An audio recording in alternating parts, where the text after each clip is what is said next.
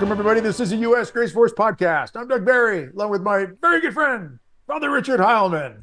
And tonight we have with us Father Chris Alar, once again joining us.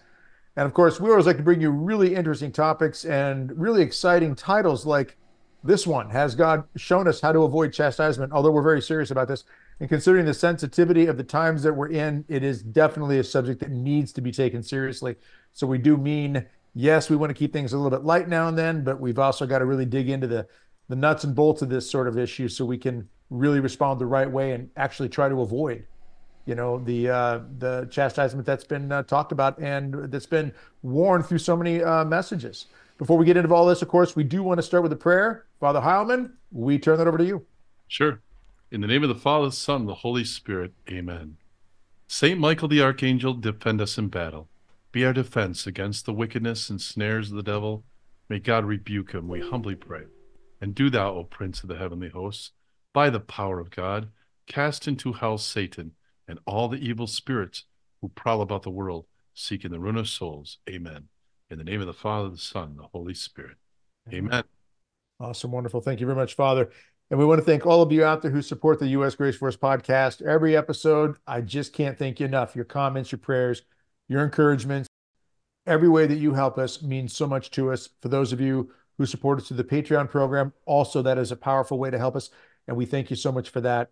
If you're interested in helping to support this mission and help us get these messages out to as many lives as possible with the time that we have, click the link in the description below for Patreon. A few dollars from a lot of people goes a long way and helps us reach a lot of lives, a lot of souls. And I mean that. So please consider doing that. And we thank all of you for that. You are in all of our prayers. And also, don't forget the U.S. Grace Force gear page. It is the official gear page. Some great T-shirts, sweatshirts, hoodies, all types of items out there. Get great messages out there. Uh, we have Gracie, of course, the mascot of the U.S. Grace Force. So go check that out, and that's another great way to help support the work that we're trying to do here. Uh, also, again, I mentioned this last week. When I mention it this week, don't forget to check out a great new family-based YouTube channel called Always a Kid. Link in the description below. Remember that innocence that God is calling us all to, no matter what our age is. So check out Always a Kid. It's a fantastic YouTube channel to bring a lot of joy and hope and a lot of a lot of again innocence in the world that we really really need to be experiencing. Father Heilman, we have with us again, good friend returning from the bullpen. I like to say, yes. Father Chris Alar. Father Chris, good to have you on board tonight. Thank yeah. you. Always great to be here with you guys. Yeah, and you were just talking about joy and hope, and that would be two perfect words I would use to describe you, Father. But uh, it, it, you're uh, the provincial head of the Mar- Marians of the Immaculate Conception, and uh, but you're I know for Doug too, and for all of our listeners, you're one of the most trusted sources out there for teaching yeah. and and just becoming spiritually strong and everything that you do. We're so very grateful for that. And we asked you to be on tonight.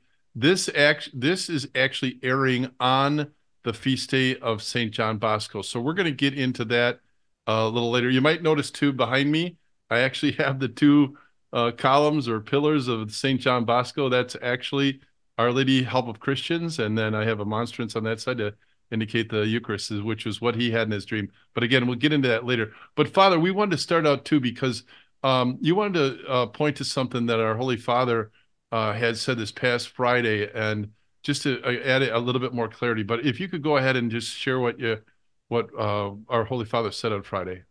Uh, yes, and I think it was very timely and very important due to the confusion that ensued after the release of the doctrine uh, or the dicastery for the doctrine of the faith, uh, their um, fiducia supplicans, which uh, gave the indication to some that this was an endorsement for the blessing of homosexuality, um, or in essence, the the union between those um, engaged in same-sex relationships. And actually, it, it did not. And we Marian Fathers issued a statement that we reiterated that we are to bless the sinner. If you read in the documents of the church, it's very clear that all sinners, and get this, even non Catholics, may be blessed. Um, all sinners, even non Catholics, may be blessed because what a blessing does is, is it disp- uh, properly disposes you to receive the grace of the sacraments. So we all are sinners and we all need blessings. But we Marian fathers, I released a statement that went a step farther and said that, however, we are not to bless the sin or the sinful union or relationship. And while were we attacked? We were attacked um, uh, saying that you're not being obedient to the church, which is telling you you must bless the sinful or the, the relationship. And the answer we stuck to was no. And uh, the confusion came from the word of the use couples. And did you hear what Pope Francis said this Friday, this past Friday? He right. made it very clear in speaking to the cardinals of the dicastery. He stated twice, we do not bless the union. And so this confirmed everything the Marian Fathers had taught, which we took much heat for. And he also said, You bless the sinner. You do not have to have moral perfection to receive the blessing, which is what we said. Bless the sinner, but not the sin, nor the sinful union. Still, though, he still didn't let go of the word couples because he said, If two people approach you and ask for a blessing, you are blessing the persons. So I still say that we still have some confusion because of the word couples, but he made it very clear we are not blessing the mm. union. And so we are very grateful uh, that the Holy Father clarified this because it just ratified our statement, mine personally, to my Marian priests that accidentally went public uh, and took a lot of heat, but it was very clear we bless the sinner, but not the relationship, not the sin, not the act of homosexuality. Father, do you think this is going to put this to rest? Because there's still going to be a lot of debate and a lot of discussion out there. Um, it was it was it was written initially in a way that even for me as a layperson, uh, it confusing. And the track record, of course, and this is not to criticize or condemn anything regarding the Vatican or the Pope. I'm not doing that. But the track record has been confusing. Do you think this is really going to help that? Absolutely. We have stated that it is confusing. We also got attacked for that. Uh, you know, Father, this is very clear what they're trying to do. Well, the fact is, I do admit, why couldn't that one sentence been put in there? We do mm. not bless the union. Mm. And and and if that one sentence would have been put into the document, I think we we wouldn't have had such a such confusion. So you are absolutely right. Confusion reigned supreme. And we Marian Fathers tried to do a couple talks on this. We did a couple videos that tried to explain it. Uh, but no, in no way, shape, or form are we as a church to condone the act uh, that is contrary to the will of God. Mm. And uh, we do not do that. We will never do that. And um, and this is just again clarifying what the statement that came from us Marian fathers that my priests here are not allowed to bless a same-sex union because mm-hmm. that entails the blessing or confuses people that it's condoning the the act of same sexual relations which we cannot do. Right. Right. So father you know uh, i think almost all of our latest podcasts, we, we've been pointing to what's gone on, especially in recent years. Uh, and I, I, and I point to the dots I connected to was, you know, the uh, October 2019 that uh, that's when Our Lady of Akita gave a message to Sister Agnes Sasagawa, uh, put on ashes and pray a repentant rosary every day. And uh, that was something that um, that we wondered what the message was for at the time. We didn't know what was going on. But I, I wanted to point to something too, because again, I've got the two columns of St. John Bosco behind us. Uh, I was looking back on an event that that took place here in uh, in the state capital of uh, Wisconsin. Matt. This was on January 31st. So by that time, we had heard that this message came from Sister Agnes Sasagawa, but we still didn't know why. But we had a sense that something was coming or something was about to happen. And so we got together uh, actually with my friend uh, Dan Miller of uh, he's the uh, head of Pro Life Wisconsin, and then we worked at we started in the middle of uh, January and worked at getting as many as could to come out, and it was kind of a cold and uh, snowy winter night that we decided we were going to take the Eucharist and process it around the state capitol and also uh, we took a statue of um, Our Lady, and so we, there we were with the two pillars on the feast of Saint John Bosco. So this would have been four years ago today, as as people are watching this, and uh, that was the beginning of 2020. And we came to find out later that that was the very day people can Google this, January 31st, 2020, that President Trump announced that there would be a travel ban from China and for for some kind of virus. And people were like, that was the moment where people went, wait, what? I mean, it's that serious? What's going on here? Mm-hmm. And and we happen to be processing the two pillars on that very same day. And there's just been uh, other things that have have occurred since that time that I personally I take as signs from God that um, you know we want to avoid the ch- uh, chastisement from God and we ask God, what do you want us to do? And I just think that He has been sending signs, and Our Lady as well. Um, you know, pray a repentant rosary every day. Uh, but put on ashes just just means listen, it's time to repent, right? It's time for us to repent and and and and call out to God and and to do it in all humility. Uh, you know, when I hear put on ashes, I think of course, of course the story of uh, Jonah and Nineveh and uh, you know what that's what they did. You know, they the the leader of Nineveh, you know, sat in ashes as the story's told. But anyways, Father, um, here we are, and I I'm of the school of thought that at the end of the hundred years of Satan, that like the Battle of Lepanto, um, the Turks at that point in 1571 said, "Okay, they're weak enough. It's time for us to roll in and take over. That's that's where I'm at right now as I look at what's going on. So we're suffering or we're going through this battle where evil is just like I say erupted all around us. And uh, and I think um we're we are weak. And uh can you help us understand too why does God allow chastisements or or, or these these difficult times um if you could go ahead with that. Well, we know that the fact of the chastisements is prophetic, not only in scripture, but in the Marian ap- approved apparitions. You mentioned Akita. Um, if you look at the conditions that are spoken about uh, by Our Lady, look at the biggest approved apparitions, all of them. Um, you have Kibeho, you have Akita, you have Fatima, you have La Salette. These are all the approved apparitions where Our Lady warned of chastisement. Now, what is interesting about that, though, is what the church teaches about prophecy. Prophecy is not predicting the future set in stone, and there's nothing you can do about it. And we come groveling to a crystal ball and say, okay, tell me what when the world's going to end and tell me what's going to happen and I want to know.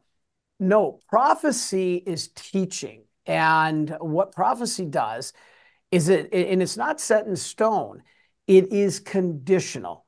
Notice the one word that Our Lady began every sentence when she regarded chastisement at Kibeho, Akita, Fatima, La Salette, and others. Do you remember, Father? What's that one word she started every sentence? If. If. exactly. She started every sentence with the word if. If you do not stop offending our Lord, if you do not, uh, you know, begin to turn back to Him, if you do not uh, pray the rosary, if we do not uh, pray uh, for God's mercy, then these things will happen. But she emphasized the word if. This is conditional we have an opportunity. God gives us a way to avoid these chastisements if we will simply listen. Well, no, Father, that's not true. Chastisements in the Bible. Yes, this is true. There are five signs in the Bible of the end times. And to refresh our biblical scholars out there, do you remember the five signs the Bible gives that will happen before the end of the world. First is the gospel will be spread to all corners of the earth. And since COVID, shows like yours and our work at the Marian Fathers, we're we're getting letters from everywhere around the world. I've been keeping track, and we've gotten letters from almost every country now in the world. The only ones we haven't are North Korea. and I think that's because the poor people there could lose their life if they did send us a letter. Yeah. Um, and and a couple other obscure countries. But the fact is, the gospel, uh, God will bring a greater good out of things like COVID, your show, Grace Force, uh, us Marian Fathers, many others out there that are helping to get the gospel out there is happening and, and has happened. So that's one. Um, and number two is the great apostasy. There will be a great falling away from the faith, uh, a disbelief. What's happening today? My goodness. Um, everybody seems to uh, have, in one way or another, uh, disbelief or there's just atheism run rampant. It, it really is an, a time of apostasy uh, that's very dangerous. Um, the third is the conversion of the Jews. Now, that can happen instantly. I mean, the second that Christ appears or however he reveals himself, uh, the Jews yet technically have not all converted yet, but the universal, universal conversion of the Jews can happen instantly. Uh, and then fourth is the coming of the Antichrist. We know that this is scriptural. Um, I did a whole talk on that a couple Saturdays ago. You can find it on our YouTube channel, uh, Divine Mercy. And then last, the tribulation. Hmm. This is the chastisement. It'll be both natural and man made and there'll be conflagration, which is fire. You know, Father, I always laugh. Uh, I shouldn't laugh because it's not a laughing matter, but, you know, our Lord uh, promised that he would no longer destroy the world again by water. There would no longer be a great flood. But if you read the, the scriptures, it's going to happen by fire. So it's like, okay, Lord, yeah. you don't, you're not going to drown us, but now we're going to burn because we don't follow you. We, hmm. we don't, we're not listening to you. However, again, that Our Lady tells us how we respond is what's critical. Since this is conditional, Our Lady told us again at places like Fatima that if we pray, if we do penance, if we do the rosary daily, we can avoid these things from happening. And so, why aren't we listening? Uh, boy, if there was ever a message to listen to in our lives, it's this one. And so let us keep shouting from the rooftops. You guys keep up the great work. Uh, you know, both you guys, Doug and Father Heilman, to make sure that we get this message out there. Yep. Yeah, I'm curious, Father. You know, you of course had this amazing event that took place in October just last year, and it happened on the 13th of October, which is such a key date. Has been for Fatima, the Miracle of the Sun, and of course Akita. It was the final apparition in Akita in 1973 since that happened for you in October, there's been a, a bit of fallout, uh, not fallout, but I mean reaction. Let's put put in those terms. What has what has been your take since that all took place? What, yeah, what, there, yeah, there's there's still question about it. Um, I I fully understand the uh, the possibility of a reflection and whatnot. Okay, I, I don't have a problem with that. Uh, but for me, you know, the the I, I went through your show on the last time. The angles, um, the fact that people saw the same position no matter where they were seated. I just find that very difficult to believe that there wasn't something supernatural there. I find that personally hard to believe. I'm allowed to hold that belief. Uh, I'm not preaching or teaching that it absolutely was an approved church apparition approved by the Vatican. Um, I'm not teaching that, but I'm allowed to hold this opinion because I, you know, I believe it did not match. There was a statue of Our Lady uh, in the back of the church. But if you look at the optics of it, she was so far back that in the monstrance, if it was a reflection, it would have been about this big, but instead it filled the entire monstrance. But again, that's okay. I I I, I accept that. The fact is, what fruit um, are we getting from the Marian apparitions? And for me, the fruit is the Blessed Mother, uh, along with the Eucharist. That is what's behind Father Heilman, the Blessed Mother and the Eucharist. Mm-hmm. These are the pillars of St. John Bosco. Uh, Our Lady, the help of Christians, uh, he saw as one pillar, and on the other pillar was the Eucharist. Now, here's what's interesting we Marian fathers, more than any other religious community in the world that I'm aware of, and this is why I'm a Marian, um, point to two spiritual weapons. And uh, so, Doug, you just mentioned uh, the the battles that we've had to fight uh, to preserve Christianity, Lepanto and and others um, that that we you know we have to fight to be able to preserve our way of life. It doesn't necessarily mean you pick up a gun and shoot people, but but the spiritual weapons of our times are Mary and divine mercy. And how is God's divine mercy given us? The Eucharist. And so these two pillars are our spiritual weapons Mary and divine mercy, the Eucharist. Uh, it's God's sign of mercy, the Eucharist. And so, what a great day, John Bosco, to, to recognize what he's showing us in these two spiritual weapons. Hmm. Yeah. You know, Father, uh, yeah, uh, Saturday morning, uh, this past Saturday morning, I got to speak to, uh, it was Men of Christ Leadership Conference, and uh, there was 100, 150 guys there, at just tip of the spear kind of guys. It was amazing, and I felt like a Baptist preacher because I was so on fire with what I was telling the guys. But one of the things I alluded to was um, something that happened in my last parish that I was at. That right after I got there, it was a Friday after Ash Wednesday. I drive down the street and the the local tavern of mom and pop place, you know, that was very popular. All of a sudden, it's a strip club.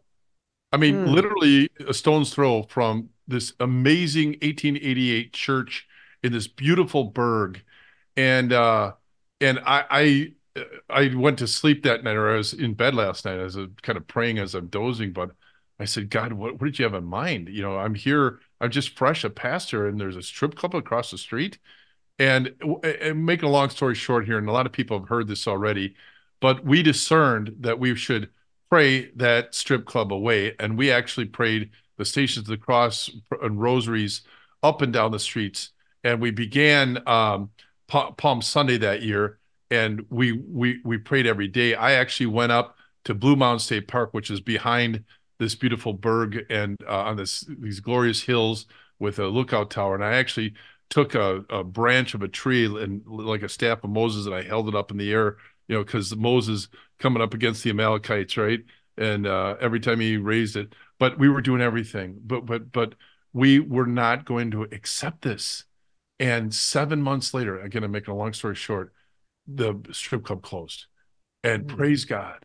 And it was, uh, but if, if that strip club remained, this would have been this, uh, where I was, that would have turned into a, uh, prostitute, the, the whole neighborhood would have turned into prostitution houses and drug houses. And I mean, it, it just would have been uh, hell on earth uh, if we accepted it. And then I turned to the guys when I gave the talk on Saturday morning. I said, listen, it's a metaphor. Okay now we need to ask uh, so we we did something and we did what god asked us to do. We used the calm weapons or whatever but the power of god we called upon the power of god and we stood and we united together hundreds of people united together. And and i said uh, if we didn't then that would have happened. But i said this is a metaphor. I said guys what are the proverbial strip clubs that are opening across the street from you? Alluding to everything that's gone on, especially in the last four years.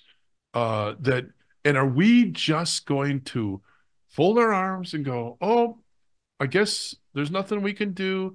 That's a new normal, as they like to say. And what are you gonna do? And and it, it was my call to these guys to say, you know, there is something we can do. And I'm going to close with this too, Father, is that um, somebody was offering a reflection and they said, you know, let's recall again Sodom and Gomorrah. You know, the, that the comets hit, comets, Doug, I worked it in. Uh, so the comets hit, all right, and two cities were wiped out. But were they all Sodomites? Were they all, you know, engaging in this this this thing that offended God? No. So why were that's that doesn't seem right. The why were the rest uh, annihilated? Well, here's why: they were indifferent to it. They folded their arms and said, "What are you going to do?" And they accepted it as a new normal, and that's why God. So, how do we avoid chastisement? First of all, we don't engage in the sin, But second of all, we don't sit by and let the proverbial strip clubs open up across the street from our heart, from God. What do you, Father? Right? I mean, we gotta we gotta unite. We gotta do something. We gotta act. Right, Father? Yes, and in fact, Father, it's good you brought that up because we have to start with ourselves and then take it to the streets. So, how do we start with ourselves? In fact, I've given a couple talks on this topic. I'm gonna I'm gonna mention three things that to answer this question that is on the screen, has God shown us a way to avoid chastisement? And the answer is absolutely. Now, what are those three ways? Those three ways are very simple, yet so few people are doing it. I'll be honest with you, Father, I have held to this, this belief from the very beginning. I believe one of the biggest reasons the world is in the mess that it is in today, we're not baptizing our children. We are not. I am shocked. I talk to pastors all over the country. They tell me that they used to have hundreds of baptisms at their large parishes a year. One uh, had something like 180 baptisms, uh, you know, just a decade ago, and had like six last year. Uh, it just unbelievable how we've lost that. that. I mean, what happens at baptism? You're given the grace. You're given the grace. You wash away original sin. You're given the grace of the virtues of faith, hope, and charity. And and you're given that that that grace to be able to to withstand sin. It's so important. So that's number one. Number two is First Fridays and First Saturdays. This comes directly to the children of Fatima. She told Lucy this a little bit later in Spain. But to be able to do the First Fridays and First Saturdays, because what does it include? The Eucharist and the Rosary. That's part of the First Saturday devotion. And so, and First Fridays is the Sacred Heart, First Saturdays is the Immaculate Heart. This devotion is critical, so important. We've been doing it live on Saturdays for four years now. And um, this is critical to be able to answer Our Lady's call at Fatima. And this is the way she said to do it. Our Lady said, if, if we don't turn back to God and if we don't stop offending Him, these are the things that are going to happen the wars and the chastisements. And the way she gave us to avoid that is the first Fridays, first Saturdays. And what is that? The Eucharist and the Rosary. Again, Jesus, Divine Mercy. The pillars of Bosco, uh, Mary, the Help of Christians, and, and the Eucharist. It's unbelievable how this fit together on the day that you you you are broadcasting on St. John Bosco. Right. And then the third way, stay in a state of grace. Right. Be a grace force. it's uh, this is the cur the the only way. And if you say, "Well, Father, I'm struggling with pornography, or I'm struggling with addiction, I'm struggling with drugs," okay, get to confession. All right. People say, "Father, I don't go to confession. I sound like a broken record." Mm. You know what? I've I, I'm I'm I'm the confessor for a couple people that are struggling with sin, almost a particular sin, almost daily. And what I tell them, I don't care if you have to come to me to confession every day. As long as you're not presumptuous of God's mercy, and then you let that be the reason you commit the sin, because I can just come to confession. No, that's presumption. But if you are honestly struggling and you are honestly fighting, then get to confession. Stay in a state of grace. So, has God shown us how to avoid chastisement? Absolutely. One, get baptized. Two, do this first Fridays, first Saturdays, which includes Mary, the Rosary, and the Eucharist. Um, and then third, stay in a state of grace. When we do these three things, this is all Our Lady says that we can avoid chastisement. So, Father, to answer your question, start at personal level, look in the mirror, first get yourself on track, then go preach the word. Then get out there. Get out there and don't be complicit. Don't just sit, like you said, and become indifferent. What did Jesus tell St. Faustina? That, that absolutely caused him more pain than anything else the lukewarm sinner said, I'd rather you hot or I'd rather you cold. Just don't be lukewarm because that's what those people were at Sodom and Gomorrah that you talked about. They weren't maybe necessarily engaged deep in sin, they were indifferent. They were lukewarm. So to, to avoid that, get yourself back on track, baptism, first Friday, first Saturday, and be in a state of grace, and then go out and live the gospel just by the way you you love, the way you act, the way you carry yourself. Let them know you're a disciple of Christ. They see Christ in you, their world changes, and man, we can avoid these chastisements. Hmm. Father, can you break down um, a little bit about the Don Bosco dream in particular that uh, about the two columns, the two pillars? This is something that you know many have looked at to see are we living in these times? Is this is this the prophecy that he received? Um, and it's interesting, um, Father Heilman, you said your your last church, did I get right? It was built in 1888. Correct. Yeah, because that's that's the, that's the year Don Bosco died. Right, yeah, 1815 yeah. to 1888. That's correct. Yeah. And and you know it's funny. I had to tell a quick little story. Um, you know, he saw he always had his dog with him. Mm. And um, he believed that in a way that was his guardian angel uh, manifested was in this dog. And he always took his dog everywhere. And I had to tell a real quick story because my sister, whose birthday is on January 31st, St. Right. John Bosco's uh, feast day, um, she had a, uh, I'm sorry for the language, but a knucklehead husband. and he abandoned her mm. after 24 years of marriage for a mm. girlfriend um, abandoned her and two kids, and uh, crushed her self confidence, crushed everything. She had no, she had no faith or belief anymore, no trust in anyone. And my father got her a big yellow lab from somebody at work who uh, could not uh, uh longer keep the dog. He was her protector. He took on the coyotes that would, would come around. You know, that you got to be afraid of these things because they can be aggressive.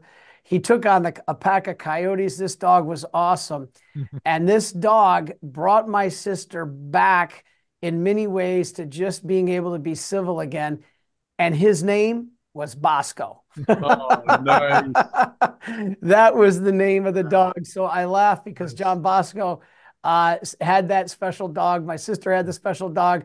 Her feast day or uh, her birthday is January 31st, St. John Bosco's 31st and the dog's name was Bosco before she even right. got him.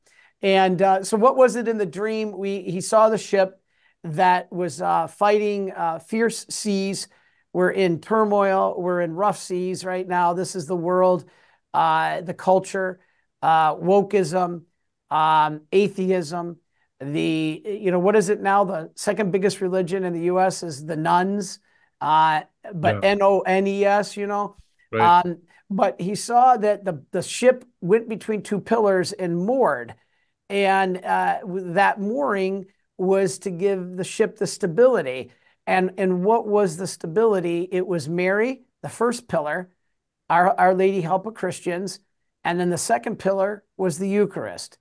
And um, and so as you can see, Doug, you know, God had to, you know, give some tranquility to Father Heilman up there. He had to put him between pillars. Yeah, so and that, the, uh, the Eucharist was a little taller, and I had that too. but I actually uh, I, I, got these from my private chapel. I have these in my private chapel. So so our Lord said, you know, Father Heilman is, you know, he, there's so much turmoil going on there. I got to put him. I got to put him between the two pillars. There you go. And so so God put him between the two pillars and and we got Our Lady and we got Divine Mercy. And how is Divine Mercy? Through the Eucharist. Mm. And so what a beautiful gift. And now you have a Marian on who uh, the, the Marian Fathers are the community that promotes the spiritual weapons of uh, Mary and Divine Mercy, which is the Eucharist. It, mm. it's an amazing connection for this show. Mm. I want to tell a little bit more about that story of the strip club going down uh, I was inspired and I asked 12 men to join me. And we got the conference uh, table from our parish for we have a parish with four pieces. And we put it on the back of guy's truck and we went down to the former strip club and we reserved the room where the strippers danced. And we took the table and up on the ceiling was the plate that held the pole. It was still there, the stripper pole. And we positioned the table underneath that spot. And I got out holy water and blessed salt. And I did the prayers of the church and I went around and I reclaimed surrendered down, ground. And we sat down for the first meeting, Knights of the Round Table. under the reclaimed surrendered ground for the first meeting of the Knights of Divine Mercy. And the inspiration wow. for the name came from John Paul II with his great love for the Divine Mercy devotion. Wow. And and what does it promote? First Fridays, because we meet on First Fridays, and we are in adoration before the Holy Eucharist, and we uh, promote Marian devotion. We pray a rosary while we're there, and we offer confession during that holy hour. Then the other thing that's offered is an inspiring talk by a priest or a bishop, and uh, usually Doug Doug's talked there several times, hmm. and uh, and then we have a fraternal social afterwards to build that bond of unity with one another. And Father, I can tell you, we started that in 2007. That countless stories, especially young men who are who understood in that moment they first walked into that church and saw all those other men kneeling before our Lord, they went, I'm called to be St. Joseph. I am called. And they ended up being, Father, not only lit up and all in, they became that group of guys since the been meeting since they're the tip of the spear in our entire diocese.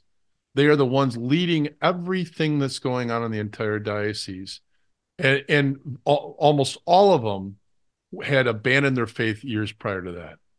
So uh, now you know why I love John Bosco and everything. But that's what we were motivated to do that first time that strip club went down. and I believe, Father, and we're talking about this. How do we avoid? I love your three things. We're called, okay, to not accept godless new normals. Okay no strip clubs across the street and you and that's a metaphor okay it, what what are we accepting? Remember sodom and gomorrah. They weren't all sodomites but the rest were indifferent. They accepted it as a new normal and god had to act. Uh, and and so there it was comments but whatever the chastisement is going to be we're going to be um, judged not only for the sin itself, but for not acting to evangelize the world, to bring the light, to bring his truth. And look what's happening right now, Father. That evil is erupted so bad. Again, I, I liken it to the Turks moving in in 1571 because we're so weak. But look what they're doing to anybody who dares speak openly the truth, right? Uh, uh, they're just getting killed yeah, and and that's why God is having to uh, allow chastisements uh, for a wake up call because unfortunately, yep, this might be the only way some people respond. That's right. Um, you know, uh, the prophecy. If we go back to prophecy for a moment, um, another way God has shown us how to avoid chastisement is by what He's going to allow. Now, um, I gave those signs that are scriptural that will happen before the end. But look at um, look at what happens in a lot of the prophecy. We have things like the warning, the illumination of conscience. Let me tell you, that's a great way to change before a chastisement. Why? Because you'll finally get to see yourself the way God sees you. I mean, I actually had a guy, Father, not long ago come into my confession and he said, uh, Bless me, Father. It's been 28 years since my last confession. Oh, call those big fish. And I That's said, awesome. Praise be to God. Yep, I do too. Praise be to God. Heaven is rejoicing that you are here. And then yep. he floored me with his next statement. But Father, I don't have any sins. and, and so I said, Well, let's sit down and let's go through this. Yeah, right. So when I went through the Ten Commandments and the seven deadly sins, yeah. Which, by the way, the seven deadly sins. If you want a good confession, go to the seven deadly sins because we are guilty of at least one or more of those. I mean, think about them. The, yep. the seven deadly sins. And I don't mean to get sidetracked here, but I always remember them by Gilligan's Island. You've heard this oh, before? Have you heard so. this before? Okay, okay. So, who was the professor? Pride. He he he he thought he could build a radio out of a coconut, but he could okay. never get him off the island. He he was always thinking he's superior to everyone else. He had pride, right? Who was sloth? You, you realize everyone 40 and under is not getting a reference right, right now. that's right. So sloth is Gilligan. He was always looking to get out of the work. He was lazy, spiritually lazy, physically. Okay, who was anger? Uh, Skipper, because Skipper was Yep. always pounding on Gilligan. Yep. Right? Who was uh, who was Mary Ann? Marianne was envy because she constantly wanted what Ginger had. She didn't wasn't happy with what God gave her. Okay, so who was lust? Lust was Ginger. Yeah. She she tried all all the men on the island. She tried. Yep. She tried. Um, and then who was uh, gluttony? Mrs. Howell. She wanted more furs, more diamonds, Right. more you know, more everything. And then who was greed? Mr. Howell, because gosh. he wanted more money, always about money, always about money. And I'm like, that is a great way to Oh remember the seven deadly sins because That I tell awesome. you, if you go through a, an examination of conscience and you think about that, you're gonna find something. Uh, Mhm. go through the Ten Commandments, you're gonna find something.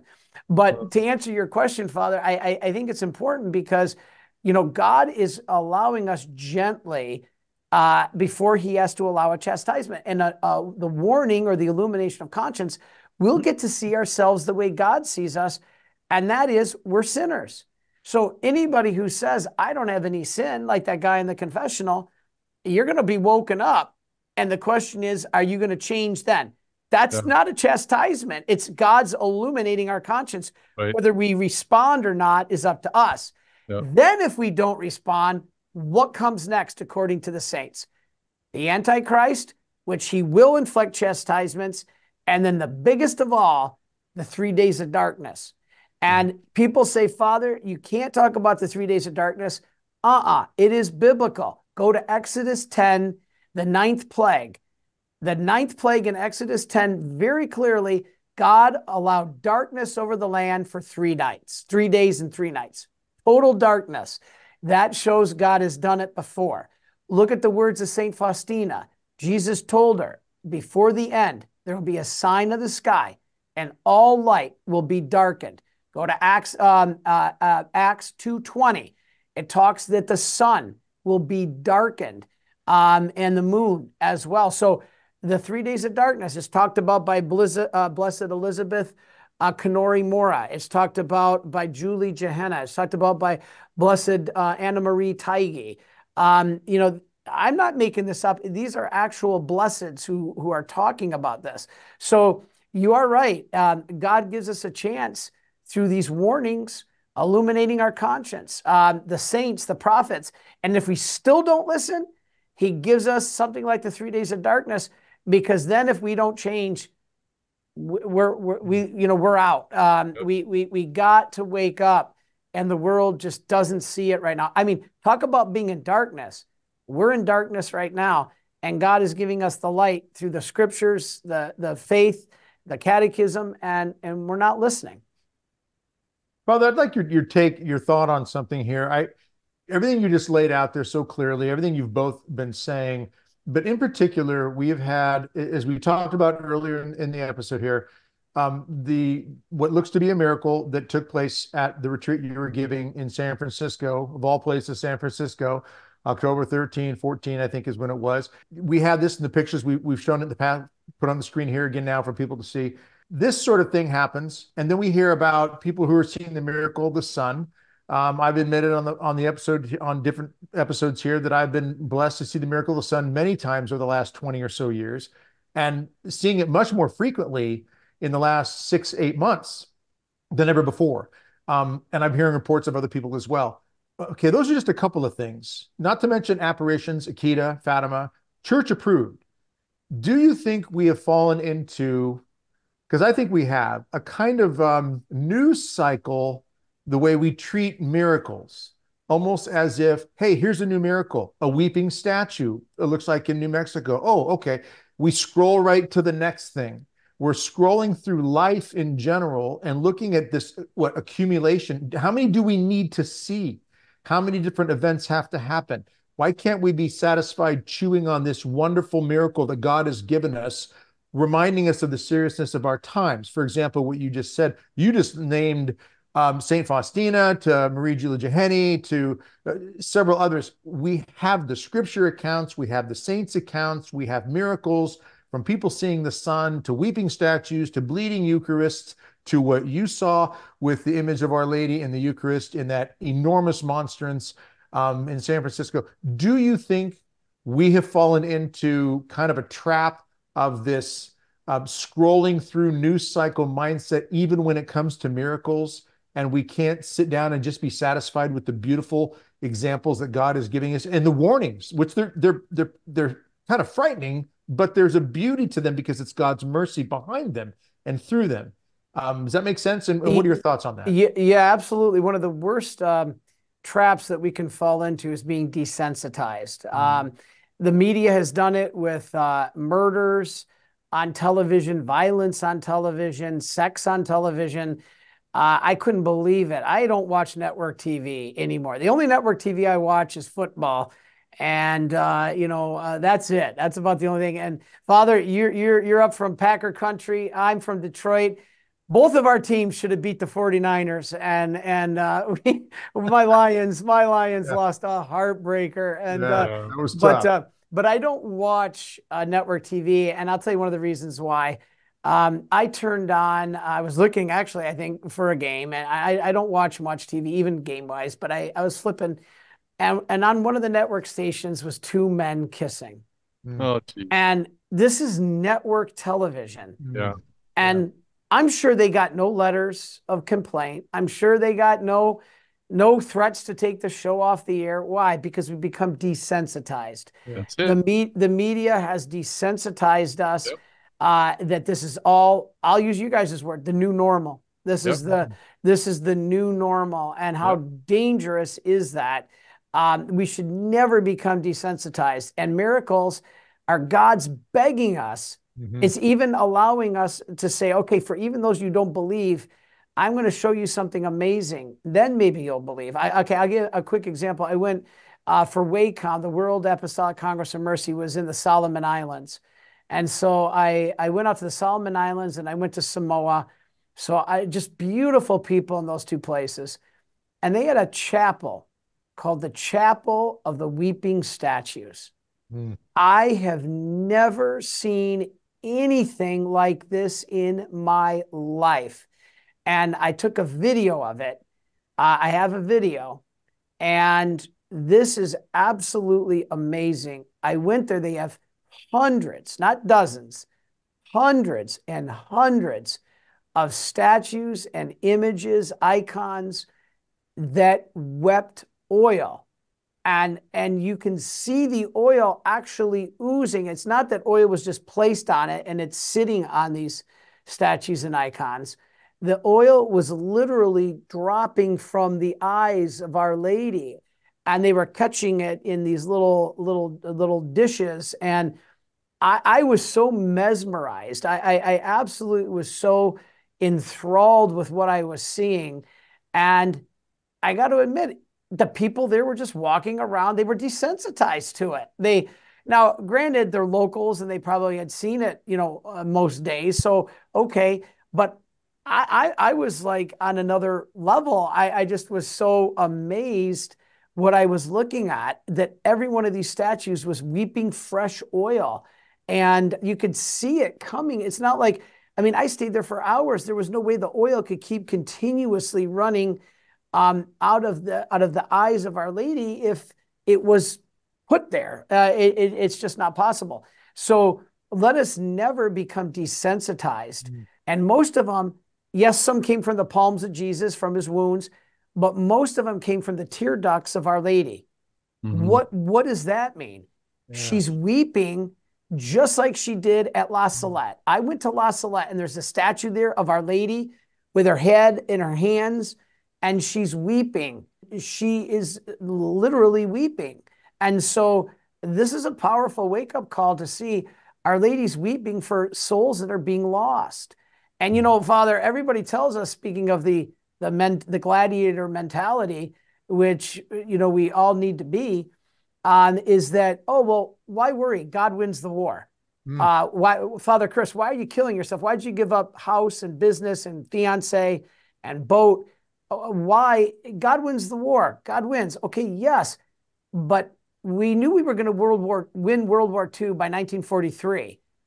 But what was the, the job of the Allies was to limit the number of casualties uh, before the war ended. So right now we know God's going to win the war, but why are we doing what we're doing? Why is Grace Force doing what it's doing? Why are the Marian Fathers doing what they're doing? To minimize casualties, mm-hmm. that is lost souls. Mm-hmm. We have to minimize the number of souls that are lost before Christ comes again. And yep. that is our mission. Yep. Yeah. I I uh, was thinking as I was listening to you, but again, these two pillars are different sizes. And he saw that in the dream. And Our Lady took a lower pillar. And we need Our Lady close to us. She leads us to the Sacred Heart of Jesus. But here, John Bosco, I believe, is showing that Our Lady is leading us to our Lord in the Holy Eucharist.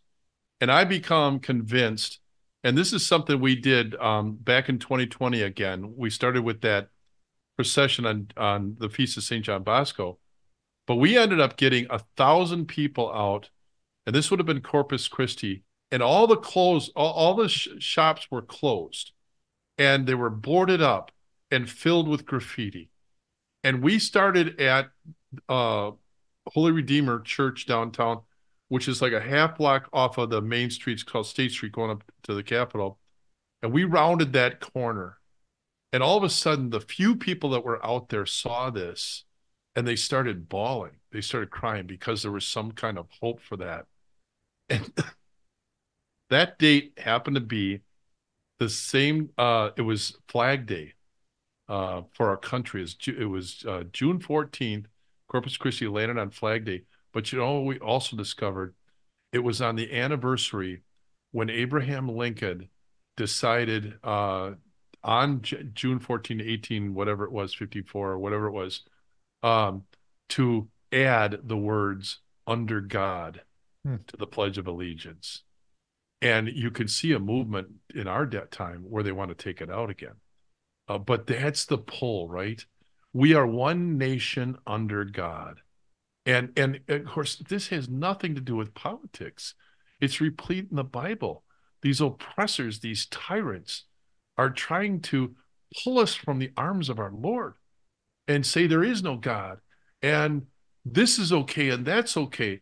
The proverbial opening strip clubs across the street from us. Uh, and, and so, what are we going to do? We did that. And you know what happened? There was another, uh, it inspired yet another uh, Eucharistic procession, this time with the Archbishop and Bishop, Archbishop Listecki and Bishop Hying, on the Feast of the Assumption. Okay, so two months later. And in that, there was 3,000 people that came. And you know what happened? I think on August 16th, but it was immediately after that. All of the riots stopped all the the and, and people went back out in the streets and the boards were taken off the shops and peace came back to our land and i swear it was like the day after that happened but you you you it was palpable. You could see that this was happening.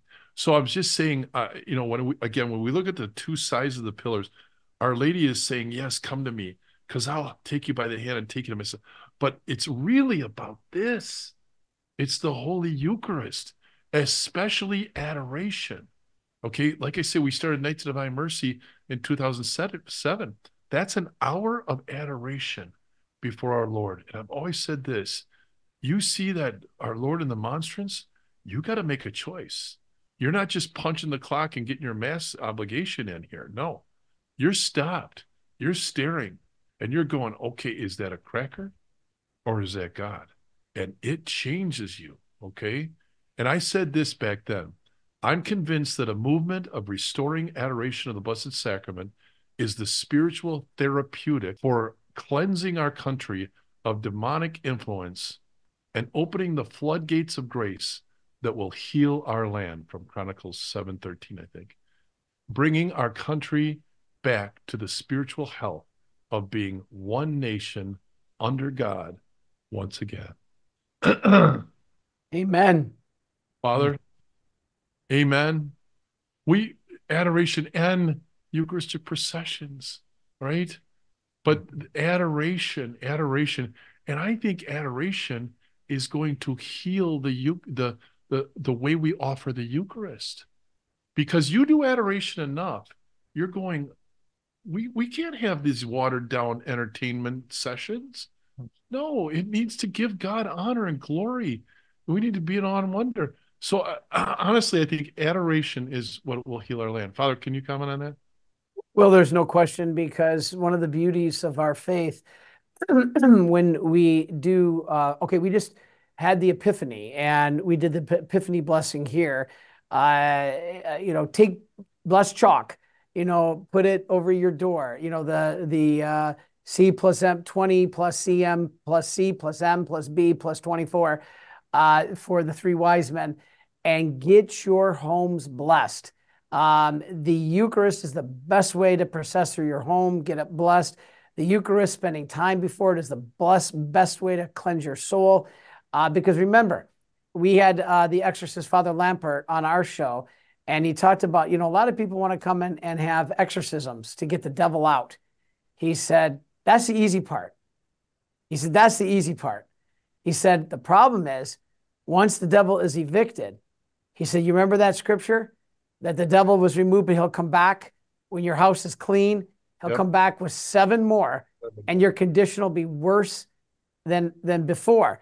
So what he was saying was, people will have the devil cleaned out through confession or an exorcism, but then they don't feel God in that their their their soul, their empty home, and then the demons will come right back and fill it.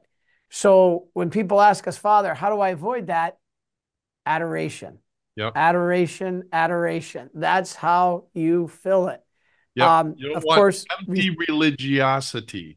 Hmm. Empty because you need to fill it with actual God, the the, the yeah. supernatural power. I always say we need a revival in the land, but I always say, wait a minute, we natural revival in the land. Yeah, that's what and, we need. And that's the meaning of Cana. The whole meaning of Cana is yep. empty your vessel yourself Yep. Get all the junk out, empty yep. it out so that God can fill you with the wine of the Holy Spirit. Yep. And so when, when how do you do that? Do whatever he tells you. Exactly. Do the Very will of God. And the will of God is the two great commandments. love him, love your neighbor. You right. do that, you're doing the will of God. So empty yourself, pour out your junk, and then fill it with the wine of the Holy Spirit. And how do you do that? go to confession, get to adoration, receive Holy Communion, and get to adoration. You know, it's funny because uh, how many times do we honor our, our guardian angel? Either by offering our Holy Communion in gratitude for our guardian angel, or here's a great one for you that I'm sure you know, Father and, and Doug, but maybe the, the listeners don't all know. Your guardian angel was assigned to be with you at all times, no matter what. And so if you are never in the presence of God, your guardian angel, who has to stick with you, also does not really get to be in the presence of God. But if you go into adoration and you are in the presence of God, guess who's the happiest of all? Your guardian angel. You're doing a great act of charity for your guardian angel who God gave to you. And so your guardian angel wants to be in the presence of God. And when you go to adoration, your guardian angel is just in ecstasy because he gets to be in the presence of God. And you should be too. You should be the same way because you are in the presence of God. So get to adoration because it helps you and your guardian angel to be filled. That emptiness is now filled with, with the Holy Spirit, with Jesus Christ, and, and the whole Trinity. It's beautiful. Father, I'd like your thoughts on this. I, when it comes to adoration in particular, um, I try to I try to encourage people, and I, I do this myself. I've been doing it for quite a while now. Is when I'm out, if I don't have time or the schedule's busy or I haven't signed up for an hour of adoration that's scheduled, I will make sure I try my very best to drive near a church, get in for 10 minutes, even 15 minutes. Sometimes it's turned into 30 or 45 minutes. Like I'm going to stop in for five minutes to sit with the Lord, and I'm 30, 35 minutes later, I'm walking out. You know, churches are a lot of times empty um, and if there's no perpetual adoration set up, Jesus is still there in the tabernacle.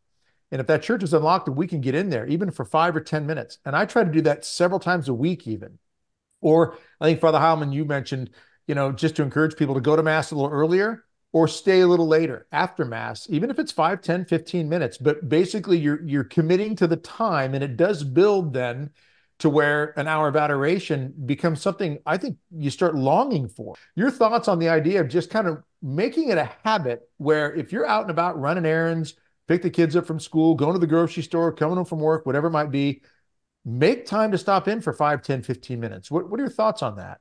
You know, if we claim we have a best friend, uh, but you never ever go to see your best friend, mm-hmm. especially when that best friend is contained like in a hospital or or mm-hmm. something like in the hospital in the tabernacle because he's so wounded from our sins if you had somebody that you called your best friend and you never ever talked to them or never ever went to see them would they really believe you were their best friend mm-hmm. no you make time even if it's for a few minutes to be able to go see and visit them um, what makes a friendship time together right period. Yep. That's what makes a friendship. So if we are going to put God in our life as our, our go-to person, that is that is an absolute requirement. It's not a nice thing to do. It's not simply something that, oh, it would be good if you can get to it. It's imperative mm. if you expect there to be a relationship. Yeah. If you expect there's going to be a relationship, you got to do and visit that friend. And God is there for you, waiting in the tabernacle. And man, every time I think about that, it, it's humbling because here he is sitting in the tabernacle all alone in these empty churches, cars driving by and people doing their own thing, and nobody stopping by to make a little bit of reparation to the Sacred Heart of Jesus that's wounded. He's wounded in there. He's he's in in an infirmary in that tabernacle with his wounded sacred heart, bleeding all over the place. And, and we don't have time to stop in and visit our, our, our most cherished relationship. Wow. Yeah. It's, it's not a nice thing. It's a, it's a mandatory yep. thing. Yeah. We've been talking tonight, Father, too, about how uh, it's not just participating in the sin that's going on in the world, but it's being indifferent toward it too. You're careless and I actually use CARE as an acronym because once a once somebody starts leaning into back into their faith, it, it, there's a sign that they care. So I use it as an acronym, and it's just simply this: the C in CARE is confession, or you could say come home. But mm-hmm. you, you, but come home and and uh, we'll get back to this blessings thing. You know, the prodigal son uh, didn't come home holding hands with the prostitute and asking father for a blessing okay mm-hmm. he came home and said i want to do it your way I want to wipe the slate clean. I want to repent. I want to start fresh. Confession is amazing. That's the C. The A is adoration.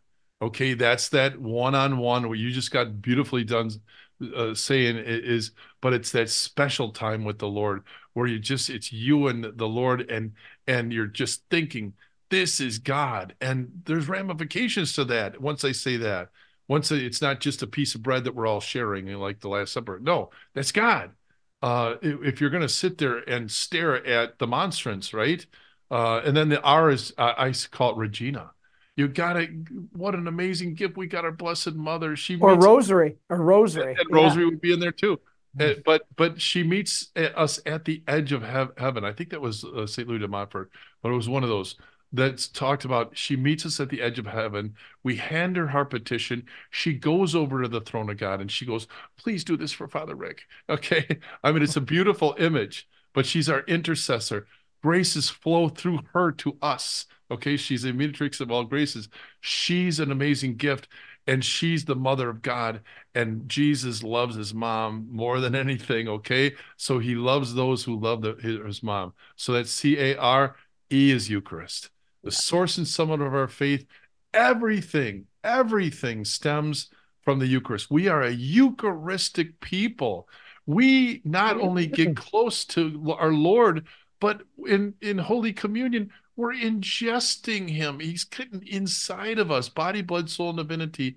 It's an amazing gift, and we have to treat it like it's amazing. And again, once we get to that place as Catholics, that's going to reform the Eucharist, the way that we offer it, so that we do it with awe and wonder and reverence yeah. and a sense of the transcendence.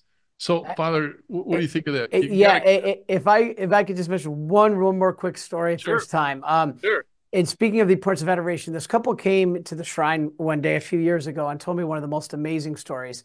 And the wife had a big old smile on her face, and the husband had kind of a smirk. And she went on to tell me, and she looked at her husband. She said, "Go ahead, tell Father Chris the story. Go ahead, tell him the story." So uh, they went on to tell the story that uh, the husband had um, uh, a minor um, uh, a problem that he was supposed to go into for uh, uh, outpatient, a little thing, a scope of his knee or something. It was something minor. And um, he went in there, she dropped him off. It was something minor. And all of a sudden they found a bad infection. Mm. And um, and so um, she, he had to be admitted and he was admitted to the hospital. Now, prior to this, this same mom uh, uh, wife had constantly begged her husband to go to adoration with her. And he says, nah, nah, nah. God knows I love him. God knows I believe in him. I don't need to do that. So Sunday after Sunday, begging him to go to mass. Week Wednesday after Wednesday, Thursday after Thursday, begging him to go to adoration. No, no, no. God knows I, I don't need to show up there. God knows I love him. So she asked him over and over and over again. She said, Don't you want to go visit the Lord? No, no, he knows I love him. So, anyway, they're back at the hospital. He calls his wife and says, I'm going to be admitted. They found a bad infection in my knee. And um, she said, Oh, you know, is it life threatening? He's like, No, but, you know, it's a bad infection. I'm going to have to spend the night. And she's, he says, So what time are you coming to see me? And she says, Well, I got I got the errands to run. I got to go get groceries. You know I, gotta... I love you. yep, exactly. And she said, "You know that I gotta, um, I, I gotta pick the kids up, but you know I love you." and he says, "You need, you're not going to come see me." She, no, actually, he said before she said, "I love you." He said, "Aren't you going to come see me?" And she said, "I got all these errands for. I got all these things to do." And he says, "Don't you love me?" Mm-hmm. And she said, You know, I love you. I don't have to come there tonight to see you. Did he make the connection right away? He he, he instantly knew what she was trying to say, and they were they were both at the shrine, and they both laughed that God had. God had taught him a lesson because he was really surprised if she loved him that he was she was not going to come see him. Yet the whole time he said, God knows I love him. I don't need to go to some adoration. I don't need to do that. God, I don't awesome. need to visit. God knows I love him. What a great story. That's awesome. Well, Father, that that's our time. Uh, this has been amazing, and um, the two pillars. Uh, let's let's let's do all that we can to draw close to Our Lady. Let her take us by the hand and bring us to her Son, our Eucharistic Lord. And uh, let's ask God, plead with God to heal our land. Okay, let's end with a prayer. In the name of the Father, the Son, the Holy Spirit. Amen. Come, Holy Spirit, fill the hearts of your faithful and enkindle in them the fire of your love. May Almighty God bless you, the Father, the Son, and the Holy Spirit. Amen. Amen. Thanks, Father. Thanks for being with us. Awesome. God bless you guys.